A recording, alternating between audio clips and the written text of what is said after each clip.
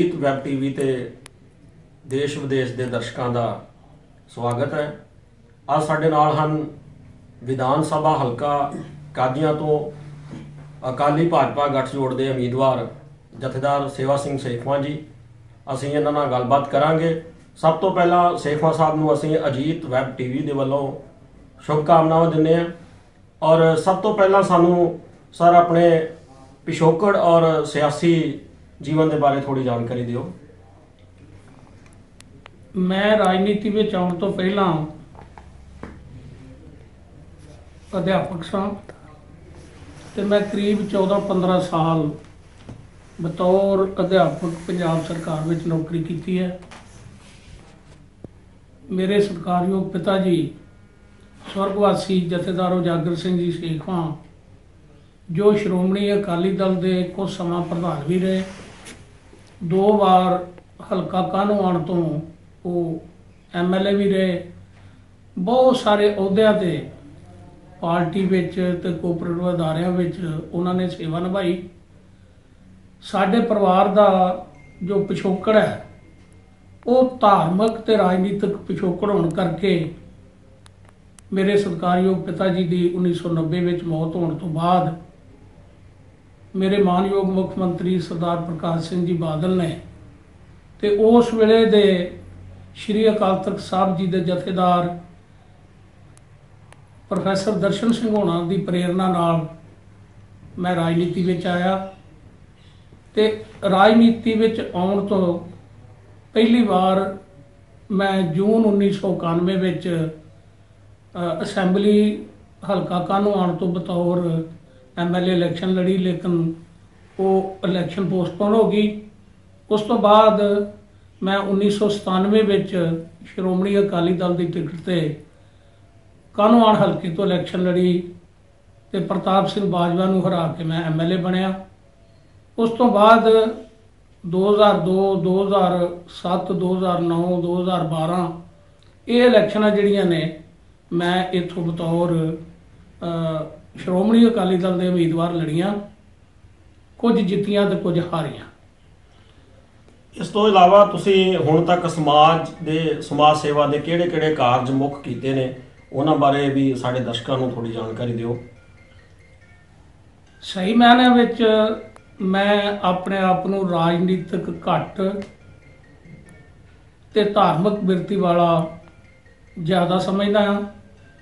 ਮੇਰਾ ਆਪਣੇ ਧਰਮ ਵਿੱਚ ਪੂਰਾ ਵਿਸ਼ਵਾਸ ਹੈ। ਇਸ ਕਰਕੇ ਸਮਾਜ ਸੇਵਾ ਨੂੰ ਸਮਰਪਿਤ ਹੋ ਕੇ ਮੈਂ ਪਿਛਲੀ ਜ਼ਿੰਦਗੀ ਵਿੱਚ ਬਹੁਤ ਵੱਡੀਆਂ ਗੱਲਾਂ ਕੀਤੀਆਂ ਨੇ।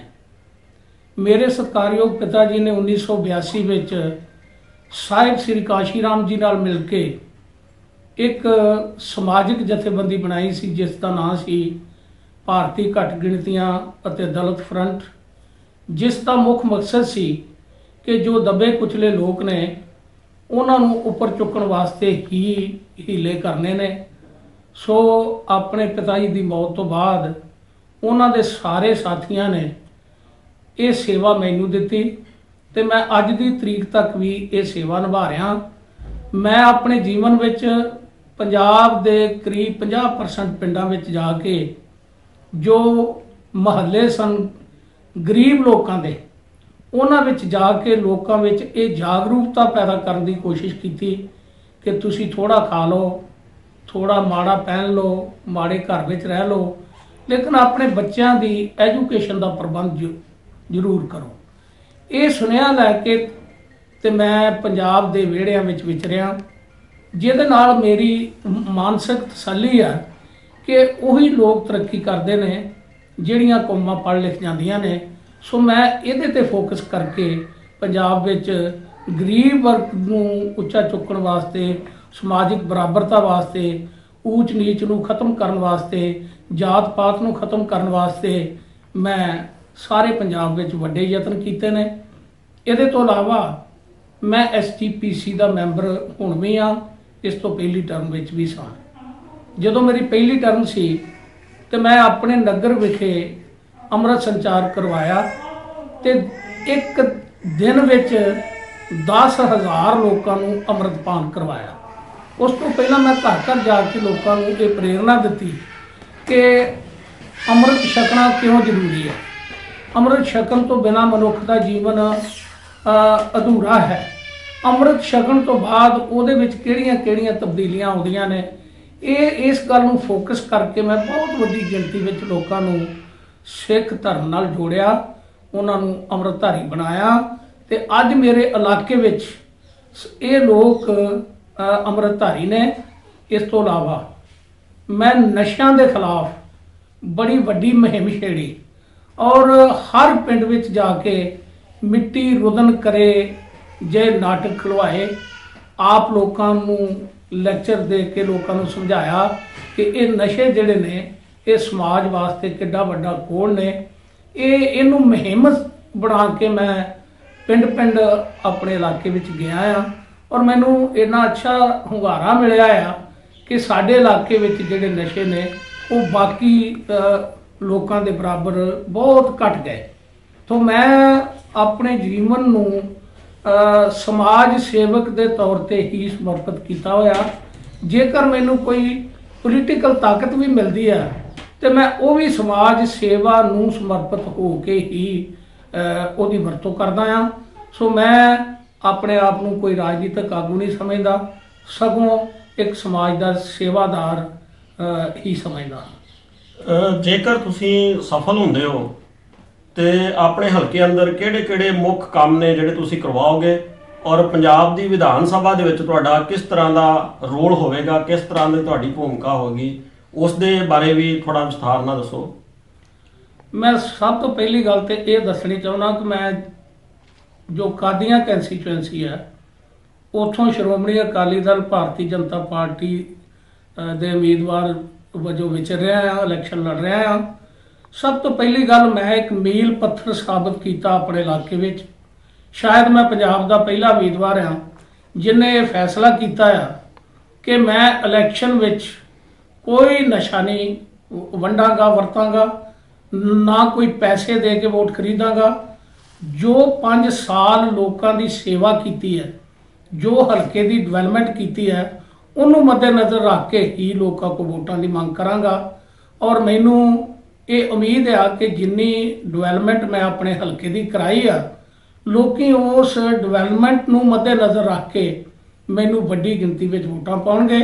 ਤੇ ਜੇ ਮੈਨੂੰ ਦੁਬਾਰਾ ਮੌਕਾ ਮਿਲਦਾ ਆ ਇਥੋਂ ਸੇਵਾ ਕਰਨ ਦਾ। ਤੇ ਮੇਰੀ ਵਿਸ਼ੇਸ਼ਤਾ ਇਹ ਹੋਏਗੀ, ਪ੍ਰਮੁੱਖਤਾ ਇਹ ਹੋਏਗੀ ਕਿ ਮੈਂ ਆਪਣੇ ਹਲਕੇ ਵਿੱਚ ਕੋਈ ਵੱਡੀ ਇੰਡਸਟਰੀ ਔਰ ਉਹ ਵੀ ਐਗਰੋ ਬੇਸਡ ਇੰਡਸਟਰੀ ਜਿਹੜੀ ਆ ਉਹ ਲਿਆਵਾਂਗਾ ਤਾਂ ਕਿ ਜਿਹੜੀਆਂ ਸਮੱਸਿਆਵਾਂ ਮੇਰੇ ਹਲਕੇ ਦੀਆਂ ਨੌਜਵਾਨ ਬੱਚੇ ਜਿਹੜੇ ਆ ਵਿਹਲੇ ਤੁਰੇ ਫਿਰਦੇ ਨੇ, ਉਹਨਾਂ ਨੂੰ ਮੈਂ ਰੋਜ਼ਗਾਰ ਦਿਵਾ ਸਕਾਂ। ਇਸ ਤੋਂ ਇਲਾਵਾ ਮੈਂ ਸਮਝਦਾ ਕਿ ਹਰ ਇੱਕ ਸਰਕਾਰ ਨੂੰ ਹੀ ਦੋ ਗੱਲਾਂ ਨੂੰ ਵਿਸ਼ੇਸ਼ ਧਿਆਨ ਦੇਣ ਦੀ ਲੋੜ ਆ। ਇੱਕ ਤੇ ਐਜੂਕੇਸ਼ਨ, ਦੂਸਰਾ ਹੈਲਥ ਸਿਸਟਮ। ਮੈਂ ਕੋਸ਼ਿਸ਼ ਕਰਾਂਗਾ ਕਿ ਆਪਣੇ ਇਲਾਕੇ ਵਿੱਚ ਐਜੂਕੇਸ਼ਨਲ ਇੰਸਟੀਟਿਊਸ਼ਨ ਜਿਹੜੇ ਨੇ ਉਹ ਵੱਡੇ ਤੋਂ ਵੱਡੇ ਲਿਆਂਦੇ ਜਾਣ, ਹੈਲਥ ਵਾਸਤੇ ਹਸਪਤਾਲ ਖੋਲੇ ਜਾਣ, ਜਾਂ ਜੋ ਛੋਟੀਆਂ ਇਕਾਈਆਂ ਨੇ ਹਸਪਤਾਲਾਂ ਦੀਆਂ, ਉਹ ਹਰ ਪਿੰਡ ਵਿੱਚ ਸਥਾਪਿਤ ਕੀਤੀਆਂ ਜਾਣ। ਤੇ ਸਭ ਤੋਂ ਵੱਡੀ ਗੱਲ ਐਜੂਕੇਸ਼ਨਲ ਇੰਸਟੀਟਿਊਸ਼ਨ ਜਾਂ ਹੈਲਥ ਦੇ ਆਪਣੇ ਜਿਹੜੀਆਂ ਹਸਪਤਾਲ ਨੇ, ਉਹ ਬਣਾ ਲੈਣੇ। ਕੋਈ ਬਹੁਤ ਵੱਡੀ ਗੱਲ ਨਹੀਂ। ਉਹਨਾਂ ਨੂੰ ਚਲਾਉਣਾ ਇੱਕ ਪ੍ਰਮੁੱਖਤਾ ਹੈ। ਮੈਂ ਕੋਸ਼ਿਸ਼ ਕਰਾਂਗਾ ਕਿ ਜਿੰਨੇ ਐਜੂਕੇਸ਼ਨਲ ਇੰਸਟੀਟਿਊਸ਼ਨ ਨੇ ਜਾਂ ਹੈਲਥ ਦੇ ਇੰਸਟੀਟਿਊਸ਼ਨ ਨੇ, ਉੱਥੇ ਪੂਰਾ ਪੂਰਾ ਸਟਾਫ ਵੀ ਹੋਵੇ, ਤਾਂ ਕਿ ਲੋਕਾਂ ਨੂੰ ਉਹਨਾਂ ਤੋਂ ਪੂਰਾ ਪੂਰਾ ਲਾਭ ਜਿਹੜਾ ਆ, ਉਹ ਵੀ ਪ੍ਰਾਪਤ ਹੋ ਸਕੇ। ਮੈਨੂੰ ਇਸ ਗੱਲ ਦਾ ਗਿਆਨ ਹੈ ਕਿ ਸਰਕਾਰਾਂ ਸਾਰੇ ਬੱਚਿਆਂ ਨੂੰ ਨੌਕਰੀਆਂ ਨਹੀਂ ਦੇ ਸਕਦੀਆਂ। ਲੇਕਿਨ ਪੇਟ ਸਾਰਿਆਂ ਨੂੰ ਲੱਗਾ ਆ। ਉਹਨਾਂ ਨੂੰ ਰੋਜ਼ਗਾਰ ਦੇ ਸਾਧਨ ਚਾਹੀਦੇ ਨੇ। ਸੋ ਜਿੱਥੇ ਵੱਡੀ ਇੰਡਸਟਰੀ ਲੱਗੇ, ਉੱਥੇ ਉਸ ਇੰਡਸਟਰੀ ਵਾਸਤੇ ਸਕਿੱਲ ਐਜੂਕੇਸ਼ਨ ਦੀ ਬੜੀ ਲੋੜ ਆ। ਤੋ ਸਕਿੱਲ ਐਜੂਕੇਸ਼ਨਲ ਸੈਂਟਰ ਜਿਹੜੇ ਨੇ, ਉਹ ਵੀ ਮੈਂ ਆਪਣੇ ਹਲਕੇ ਵਿੱਚ ਖੋਲ੍ਹਣ ਦੀ ਕੋਸ਼ਿਸ਼ ਕਰਾਂਗਾ। ਤਾਂ ਕਿ ਉਹ ਬੱਚੇ ਜਿਹੜੇ ਨੇ, ਸਕਿਲਡ ਹੋ ਕੇ ਪਹਿਲਾਂ ਹੀ ਤਿਆਰ ਹੋਣ ਕਿ ਉਹ ਕਿਤੇ ਵੀ ਇੰਡਸਟਰੀ ਹੋਵੇ ਤੇ ਉੱਥੇ ਜਾ ਕੇ ਆਪਣਾ ਰੋਜ਼ਗਾਰ ਜਿਹੜਾ ਉਹ ਪੈਦਾ ਕਰ ਸਕਣ। ਤੁਹਾਡੀ ਨਜ਼ਰ ਦੇ ਵਿੱਚ, ਪੰਜਾਬ ਦੇ ਵਿੱਚ ਇਸ ਸਮੇਂ ਕਿਹੜੀਆਂ ਕੋਈ 4-5 ਸਮੱਸਿਆਵਾਂ ਜਿਹੜੀਆਂ ਉਹ ਮੁੱਖ ਨੇ ਔਰ ਉਹਨਾਂ ਨੂੰ ਕਿਸ ਤਰ੍ਹਾਂ ਹੱਲ ਕਰ, ਕਰ- ਕੀਤਾ ਜਾ ਸਕਦਾ ਹੈ? ਇਸ ਦੇ ਬਾਰੇ ਤੁਹਾਡੇ ਕੀ ਵਿਚਾਰ ਨੇ? ਤੁਹਾਡੀ ਨਜ਼ਰ ਦੇ ਵਿੱਚ ਕਿਹੜੀਆਂ ਉਹ ਵੱਡੀਆਂ ਸਮੱਸਿਆਵਾਂ ਨੇ ਜਿਨ੍ਹਾਂ ਦਾ ਹੱਲ ਕਰਨਾ ਬੜਾ ਜ਼ਰੂਰੀ ਆ? ਔਰ ਕਿਹੜੀਆਂ ਪ੍ਰਮੁੱਖ ਸਮੱਸਿਆਵਾਂ ਨੇ ਉਹਨਾਂ ਦੇ ਬਾਰੇ ਥੋੜੀ ਜਾਣਕਾਰੀ ਦਿਓ। ਵੇਖੋ, ਮੇਰੇ ਵੇਖੇ ਸਭ ਤੋਂ ਵੱਡੀ ਸਮੱਸਿਆ ਬੇਰੋਜ਼ਗਾਰੀ ਦੀ ਸਮੱਸਿਆ ਆ। ਔਰ ਬੇਰੋਜ਼ਗਾਰੀ ਦੀ ਸਮੱਸਿਆ ਜਿਹੜੀ ਆ, ਇਹਨੂੰ ਹੱਲ ਕਰਨ ਵਾਸਤੇ ਇੰਡਸਟਰੀ ਦੀ ਲੋੜ ਆ। ਮੈਂ ਲਿਖ ਪੜ ਕੇ ਇਹ ਗੱਲ ਕਹਿਣਾ, ਕੋਈ ਵੀ ਸੂਬਾ, ਕੋਈ ਵੀ ਦੇਸ਼ ਉਹਨਾਂ ਚਿਰ ਤਰੱਕੀ ਨਹੀਂ ਕਰ ਸਕਦਾ ਜਿੰਨਾ ਚਿਰ ਉਹਦੇ ਕੋਲ ਇੰਡਸਟਰੀ ਨਾ ਹੋਵੇ। ਹਰ ਹੱਥ ਨੂੰ ਕੰਮ ਮਿਲਣਾ ਚਾਹੀਦਾ ਆ। ਜਿਸ ਦੇਸ਼ ਦਾ ਵੀ ਹਰ ਹੱਥ ਕੰਮ ਕਰੇਗਾ ਉਹੀ ਦੇਸ਼ ਤਰੱਕੀ ਕਰੇਗਾ। ਜਾਪਾਨ ਦੀ ਇੰਨੀ ਤਰੱਕੀ ਕਰਨ ਦਾ ਮੇਜਰ ਕਾਰਨ ਇਹ ਆ ਕਿ ਉੱਥੇ ਹਰ ਹੱਥ ਜਿਹੜਾ ਉਹ ਕੰਮ ਕਰਦਾ ਆ। ਤੇ ਜਿੰਨਾ ਚਿਰ ਹਰ ਹੱਥ ਨੂੰ ਅਸੀਂ ਕੰਮ ਮੁਹੱਈਆ ਨਹੀਂ ਕਰਾਉਂਦੇ, ਉਹਨਾਂ ਚਿਰ ਬੇਰੋਜ਼ਗਾਰੀ ਜਿਹੜੀ ਆ ਦੂਰ ਨਹੀਂ ਕੀਤੀ ਜਾ ਸਕਦੀ। ਸਰਕਾਰੀ ਨੌਕਰੀਆਂ ਸਾਰਿਆਂ ਨੂੰ ਨਹੀਂ ਦਿੱਤੀਆਂ ਜਾ ਸਕਦੀਆਂ। ਸੋ ਇਸ ਕਰਕੇ ਵੱਡੀ ਇੰਡਸਟਰੀ ਮੀਡੀਅਮ ਇੰਡਸਟਰੀ, ਛੋਟੀ ਇੰਡਸਟਰੀ ਜਿਹੜੀ ਆ ਇਹ ਤਿੰਨੇ ਕਿਸਮਾਂ ਦੀ ਇੰਡਸਟਰੀ ਜਿਹੜੀ ਆ, ਇਹ ਪੰਜਾਬ ਵਿੱਚ ਆਉਣੀ ਚਾਹੀਦੀ ਆ। ਇਹਦਾ ਮੈਂ ਸਮਝਣਾ ਜਿਹੜਾ ਪਿਛਲੇ ਸਮੇਂ ਵਿੱਚ ਇਹ ਕੁਝ ਨਹੀਂ ਹੋ ਸਕਿਆ, ਉਹਦਾ ਇੱਕ ਵੱਡਾ ਕਾਰਨ ਆ ਕਿ ਪਹਿਲਾਂ ਪੰਜਾਬ ਕੋਲ ਬਿਜਲੀ ਦੀ ਬਹੁਤ ਘਾਟ ਸੀ। ਪਾਰ ਤੋਂ ਬਿਨਾ ਕੋਈ ਵੀ ਇੰਡਸਟਰੀ ਚੱਲ ਨਹੀਂ ਸਕਦੀ। ਲੇਕਿਨ ਹੁਣ ਮੈਂ ਸਮਝਣਾ ਕਿ ਸਰਦਾਰ ਸੁਖਬੀਰ ਸਿੰਘ ਜੀ ਬਾਦਲ, ਜਿਹੜੇ ਇੱਕ ਵਿਜ਼ਨਰੀ ਇਨਸਾਨ ਨੇ, ਉਹਨਾਂ ਨੇ ਇੱਕ ਤਹਈਆ ਕੀਤਾ ਕਿ ਮੈਂ ਪੰਜਾਬ ਨੂੰ ਬਿਜਲੀ ਪੱਖੋਂ ਸਰਪਲਸ ਸੂਬਾ ਬਣਾਉਣਾ ਤੇ ਅੱਜ ਅਸੀਂ ਸਾਰੇ ਮਾਣ ਨਾਲ ਕਹਿ ਸਕਦੇ ਹਾਂ ਕਿ ਪੰਜਾਬ ਹਿੰਦੁਸਤਾਨ ਦਾ ਪਾਰ ਪੱਖੋਂ ਸਰਪਲਸ ਸੂਬਾ ਬਣ ਚੁੱਕਾ ਆ। ਹੁਣ ਸਾਨੂੰ ਪੰਜਾਬ ਵਿੱਚ ਇੰਡਸਟਰੀ ਲਿਆਉਣੀ ਕੋਈ ਭਾਰੀ ਨਹੀਂ, ਕਿਉਂਕਿ ਇੰਡਸਟਰੀ ਨੂੰ ਚਲਾਉਣ ਵਾਸਤੇ ਸਾਡੇ ਕੋਲ ਪਾਵਰ ਜਿਹੜੀ ਆ, ਉਹ ਵਾਧੂ ਆ। ਇਹਦੇ ਤੋਂ ਇਲਾਵਾ ਇੱਕ ਸਮੱਸਿਆ ਮੈਂ ਹੋਰ ਸਮਝਦਾ ਆ। ਉਹ ਆ ਕਿ ਜਿਹੜਾ ਖੇਤੀਬਾੜੀ ਤੇ ਆਧਾਰਿਤ ਸਾਡੇ 80% ਲੋਕ ਜਿਹੜੇ ਨੇ, ਉਹ ਖੇਤੀਬਾੜੀ ਤੇ ਆਧਾਰਿਤ ਨੇ, ਭਾਵੇਂ ਕਿਸਾਨ ਨੇ ਤੇ ਭਾਵੇਂ ਉਹ ਖੇਤ ਮਜ਼ਦੂਰ ਨੇ। ਮੈਂ ਸਮਝਦਾ ਕਿ ਸਾਨੂੰ ਖੇਤੀਬਾੜੀ ਦੇ ਸਿਸਟਮ ਵਿੱਚ ਵੀ ਵੱਡੇ ਸੁਧਾਰ ਕਰਨ ਦੀ ਲੋੜ ਹੈ। ਔਰ ਜਿਹੜੀ ਇੱਥੇ ਇੰਡਸਟਰੀ ਵੀ ਆਵੇ, ਉਹ ਵੀ ਐਗਰੋ ਬੇਸਡ ਇੰਡਸਟਰੀ ਆਵੇ, ਉਹਦਾ ਕਿਸਾਨਾਂ ਨੂੰ ਵੱਡਾ ਲਾਭ ਮਿਲ ਸਕਦਾ ਆ। ਬਹੁਤ ਸਾਰੇ ਪਲਾਂਟ ਜਿਹੜੇ ਨੇ, ਪਿਛਲੇ ਸਮੇਂ ਵਿੱਚ ਸ਼੍ਰੀਮਤੀ ਹਰਸਿਮਰਤ ਕੌਰ ਜੀ ਬਾਦਲ ਨੇ ਆਪਣੇ ਪੰਜਾਬ ਵਿੱਚ ਲਿਆਂਦੇ ਨੇ, ਜਿਹਦੇ ਨਾਲ ਮੈਂ ਸਮਝਣਾ ਕਿ ਕਿਸਾਨੀ ਨੂੰ ਵੱਡਾ ਹੁਲਾਰਾ ਮਿਲੇਗਾ। ਇਸੇ ਤਰ੍ਹਾਂ ਸਬਜ਼ੀਆਂ ਵਾਸਤੇ, ਫਲਾਂ ਵਾਸਤੇ ਤੇ ਜਿਹੜੀਆਂ ਕਿਸਾਨੀ ਦੀਆਂ ਜਿਨਸਾਂ ਨੇ, ਉਹਨਾਂ ਦੀ ਪੂਰਤੀ ਵਾਸਤੇ ਵੀ ਜਿਹੜੀ ਇੰਡਸਟਰੀ ਆ, ਉਹ ਪੰਜਾਬ ਵਿੱਚ ਲੱਗਣੀ ਚਾਹੀਦੀ ਆ। ਤੇ ਅਸੀਂ ਇਹ ਕੋਸ਼ਿਸ਼ ਕਰਾਂਗੇ ਕਿ ਅਗਲੀ ਸਰਕਾਰ ਬਣਦੇ ਇਹ, ਇਹਦੇ ਵੱਲੋਂ ਚੇਚਾ ਧਿਆਨ ਦਿੱਤਾ ਜਾਵੇ। ਤਾਂ ਕਿ ਅਸੀਂ ਜਿਹੜੀਆਂ ਦੋਵੇਂ ਇਹ ਸਮੱਸਿਆਵਾਂ ਨੇ ਇੱਕ ਬੇਰੋਜ਼ਗਾਰੀ ਦੀ ਤੇ ਇੱਕ ਕਿਸਾਨੀ ਦੀ ਇਹਨਾਂ ਦੋਵਾਂ ਦਾ ਹੀ ਹੱਲ ਜਿਹੜਾ ਉਹ ਹੋ ਸਕੇ। ਤੁਹਾਡੀ ਨਜ਼ਰ ਦੇ ਮੁਤਾਬਕ ਸਾਡੇ ਪੰਜਾਬ ਨੂੰ ਇਸ ਸਮੇਂ ਕਿਹੋ ਜੀ ਸਰਕਾਰ ਦੀ ਜ਼ਰੂਰਤ ਆ? ਕਿਸ ਤਰ੍ਹਾਂ ਦੀ ਸਰਕਾਰ ਦੀ ਤੁਸੀਂ ਸੋਚ ਰੱਖਦੇ ਹੋ?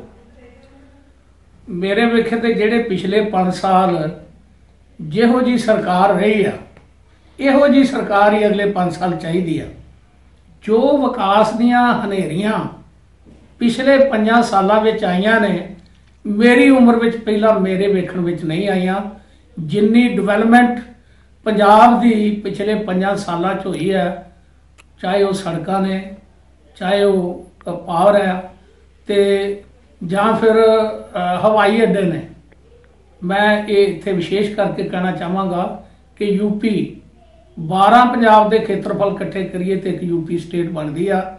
ਉੱਥੇ ਇੱਕ ਇੰਟਰਨੈਸ਼ਨਲ ਹਵਾਈ ਅੱਡਾ ਆ ਤੇ ਪੰਜਾਬ ਦੀ ਛੋਟੀ ਜੀ ਸਟੇਟ ਵਿੱਚ ਦੋ ਇੰਟਰਨੈਸ਼ਨਲ ਹਵਾਈ ਅੱਡੇ ਨੇ, ਜਿਹੜੇ ਡੋਮੈਸਟਿਕ ਹਵਾਈ ਅੱਡੇ ਨੇ, ਉਹ ਵੱਖਰੇ ਨੇ। ਸੋ ਮੈਂ ਸਮਝਣਾ ਕਿ ਆਉਣ ਵਾਲੇ ਸਮੇਂ 'ਚ ਇਹ ਜੀ ਸਰਕਾਰ ਚਾਹੀਦੀ ਆ, ਜਿਵੇਂ ਪਿਛਲੇ 5 ਸਾਲਾਂ 'ਚ ਵਿਕਾਸ ਦੀਆਂ ਹਨੇਰੀਆਂ ਲਿਆਂਦੀਆਂ ਨੇ, ਆਉਣ ਵਾਲੇ ਸਮੇਂ ਵਿੱਚ ਵੀ ਜਿਹੜੀਆਂ ਕਸਰਾਂ ਰਹਿ ਗਈਆਂ ਨੇ, ਉਹ ਪੂਰੀਆਂ ਹੋ ਸਕਣ। ਤੇ ਮੈਂ ਸਾਰੇ ਸਰੋਤਿਆਂ ਨੂੰ ਨਿਮਰਤਾ ਸਹਿਤ ਤੇ ਬੇਨਤੀ ਕਰਾਂਗਾ ਕਿ ਪੰਜਾਬ ਦੇ ਹਿੱਤ ਵਿੱਚ, ਦੇਸ਼ ਦੇ ਹਿੱਤ ਵਿੱਚ, ਲੋਕਾਂ ਦੇ ਹਿੱਤ ਵਿੱਚ ਅਗਲੇ 5 ਸਾਲ ਵੀ ਸ਼੍ਰੋਮਣੀ ਅਕਾਲੀ ਦਲ ਭਾਰਤੀ ਜਨਤਾ ਪਾਰਟੀ ਨੂੰ ਸਹਿਯੋਗ ਦਿਓ ਤਾਂ ਕਿ ਜਿਹੜੇ ਅਸੀਂ ਕੰਮ ਸ਼ੁਰੂ ਕੀਤੇ ਨੇ, ਉਹ ਅਧੂਰੇ ਨਾ ਰਹਿ ਜਾਣ, ਉਹ ਅਸੀਂ ਪੂਰੇ ਕਰ ਸਕੀਏ ਤੇ ਪੰਜਾਬ ਜਿਹੜਾ, ਉਹਨੂੰ ਅਸੀਂ ਵਧੀਆ ਸੂਬਾ ਬਣਾ ਸਕੀਏ। ਸਾਡੇ ਅਜੀਤ ਵੈਬ ਟੀਵੀ ਦੇ ਦਰਸ਼ਕਾਂ ਨੂੰ ਕੋਈ ਆਪਣੇ ਵੱਲੋਂ ਸੰਦੇਸ਼ ਦੇਣਾ ਚਾਹੋਗੇ? ਮੈਂ ਇਹੀ ਕਹਿਣਾ ਚਾਹਾਂਗਾ ਕਿ ਸਾਡਾ ਪੰਜਾਬ ਜਿਹੜਾ ਗੁਰੂਆਂ ਪੀਰਾਂ ਦੀ ਧਰਤੀ ਹੈ, ਜਿਹੜਾ ਜਿਹਦੀ ਸ਼ਾਨ, ਆਨ, ਬਾਨ ਸਾਰੇ ਸੰਸਾਰ ਵਿੱਚ ਮਸ਼ਹੂਰ ਆ, ਜਿੱਥੇ ਵੀ ਪੰਜਾਬੀ ਗਿਆ, ਭਾਵੇਂ ਉਹ ਬਾਹਰਲੀ ਸਟੇਟ ਵਿੱਚ ਗਿਆ ਤੇ ਭਾਵੇਂ ਅਬਰੋਡ ਗਿਆ, ਉਹਨੇ ਪੰਜਾਬੀਅਤ ਦਾ ਨਾਂ ਪੈਦਾ ਕੀਤਾ ਆ।